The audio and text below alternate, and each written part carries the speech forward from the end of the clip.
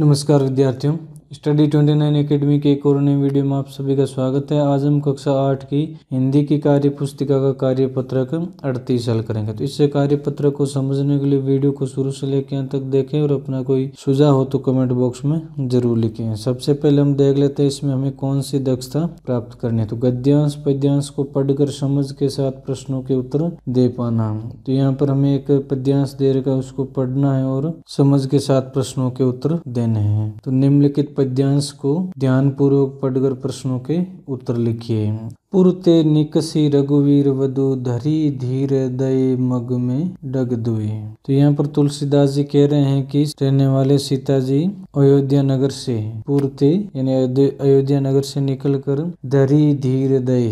यानी धीर धारण करके मार्ग में दो डग यानी पग, कदम चली चलकी बरी भाल कनी जल की जैसे ही दो कदम चलते हैं, उनके माथे पर पसीने की बूंदे छलक आती। पुट सूखी गए मधुरा धरवे और उनके दोनों मधुर होठ एकदम सूख गए हैं। फिर बूझती हैं, चलनो अब के तिक पर्ण कुटी करी हो कित है। फिर वे अपने पति राम से पूछती है कि अभी और कितना चलना पड़ेगा? चलनो अब के का और कितना चलना है तब रहने के लिए तथा रहने के लिए घास पतों की कुटिया कहाँ बन रही? पर्ण कुटिया यानी घास फूस से बनी कुटिया या झोंपड़ी, वो कहाँ बनाई जा रही? कित यानी कहाँ? तीय की लखी आतुरता पिए की अंखियाँ अति चारु चली जल चुए उस समय पत्नी सीता की ये व्याकुलता, आतुरता या व्याकुलता देख पिए। पिए यानी प्रिय श्री राम की सुंदर अंखिया की अंखियाँ अति चारु चली जल चुए यानी श्री राम की सुंदर आँखों में जल कण अर्थात आँसू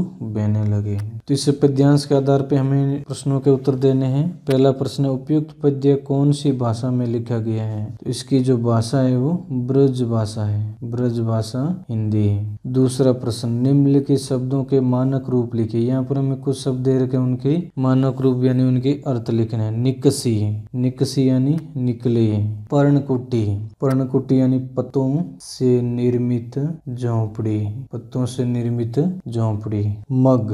मग यानी मार्ग या रास्ता। तीय तीय यानी पत्नी। सूखी यानी सूखना के होठ सूख गए। करी हो करी हो यानी बनाना। सीता जी राम से पूछते हैं कि झोंपड़ी कहाँ बनाने जा रहे हो? तो करियो कित है पर्णकुटी करियो कित यानी पर्णकुटी कहाँ बना रहे हो? बूझती बूझती यानी पूछना। प्रिय यानी प्रिय या पति। इस प्रकार इनके मानक रूप हो जाएँगे या अर्थ लिख देंगे। तीसरा प्रश्न। सीता का धैर्य कब टूट गया? तो वन के रास्ते में दो कदम चलते ही सीता का धैर्य टूट गया, क्योंकि उनको पैदल चलने का कभी अभ्यास था ही नहीं। चौथा प्रश्न, मधुराधर शब्द का संधि विच्छेद करके लिखिए। मधुराधर का संधि विच्छेद हो जाएगा, मधुराधर बराबर मधुर प्लस अधर। अधर यानी होठ, मधुर मधुर मधुर होठ। पांचवा प्रश्न, राम सीता वन में क्यों जा रहे थे?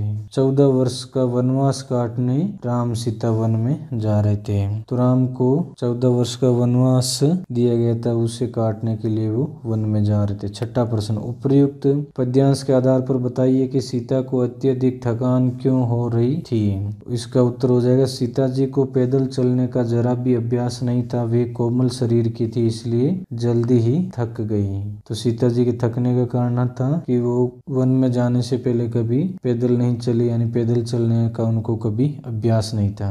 इस प्रकार इस वीडियो में हमने कार्य पत्रक अड़तीस को हल किया। अगले वीडियो में हम अगला कार्य पत्रक हल करेंगे।